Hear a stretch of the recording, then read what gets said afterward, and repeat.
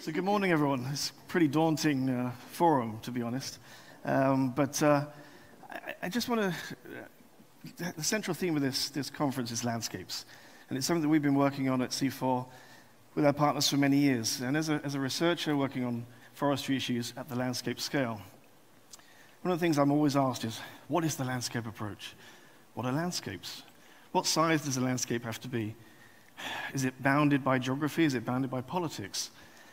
And given that landscape approaches have been in the sort of development parlance for the last 25 years, it's very hard to appreciate that we're still asking those questions.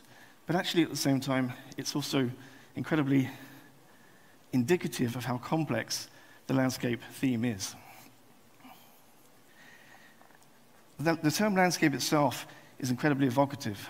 We have um, the fields of art, philosophy, politics, the political landscape, have adopted the term landscape in many different ways. And often the um, term doesn't transfer between any of those disciplines. So it's a term that's been used um, across many disciplines and over time has become synonymous with a broad, sweeping uh, set of statements. And if you think about the term landscapes, how much is going to be used here, what's the meaning of the term landscape? What do we mean by landscapes? And I think that's the essence of some of the conundrums that we've had in terms of real integration at the landscape scale and looking at sustainable landscapes from a more holistic perspective. At CIFOR, we've tried to sort of make sense of the order of the chaos of landscapes in a way. And a few years ago, we developed what's called the 10 principles of a landscape approach. They were, in working terms, known as our 10 commandments. And these resonated very well with the uh, donor community, with the practitioner community. They've been widely cited and used in project implementation in countries such as Indonesia.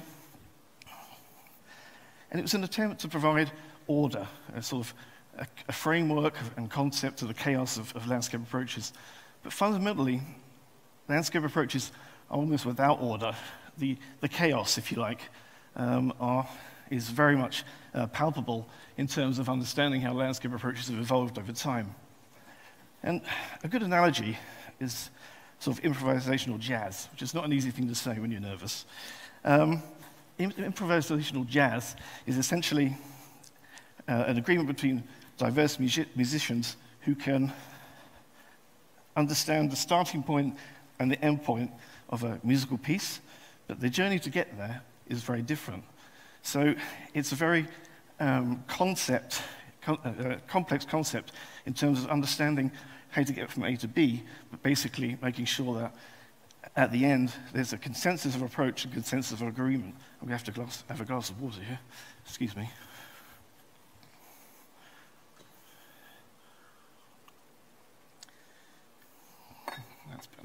So the landscape approach has really evolved from the, the, the, the, sort of integration of, of land uses into a much more formalized approach from the policy perspective. Um, and here we are in the Global Landscapes Forum, where everything is high level, high profile, policy. We've got ministers, we have very high level people here talking about landscapes.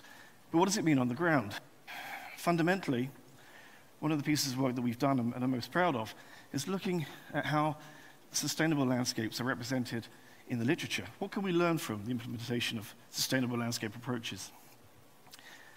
And one of the things we've found is that in the scientific literature, there's almost no evidence of sustainable la landscape practice on the ground. It doesn't mean they don't happen, it just means that it's not, not being reported in the, in the literature, and this is a, a huge issue. But I firmly believe that there are two billion well, there are, not whether I believe it or not, there are 2 billion small scale farmers working in complex landscape mosaics. They manage these landscapes in their entirety. They don't look through the prism of a single land use. They think about landscapes as a whole. They're managed as a whole, and they're managed much more in an integrated fashion in these types of land systems than we actually appreciate. So the lofty goals of the Global Landscapes Forum to reach a billion people. Well, think about that. That's, fairly, that's a fairly hubristic approach in many ways. But there are two billion people already working at the landscape scale. maybe this is our constituency, maybe this is our, our um, target group that we need to work with in the future. To end, this is the, the landscape I grew up in southern England, the South Downs. It's a complex landscape that's been evolving over the last hundreds and thousands of years based on social, political, environmental criteria. And that complicated aspect of landscapes is why it's such a challenge to do these things on the ground. To understand landscapes, we need to move beyond, uh, it's great to hear about moving beyond the project cycle, moving beyond short termism, moving beyond um, uh, the, the project cycle, if you like, and investing time and experience and working with those on the ground, the bottom up experience, to actually inform uh, the landscape approach. And essentially, I think the Global Landscapes Forum can play a role in switching up from the top down to the bottom up, and that's where we move from theory to practice. Thank you.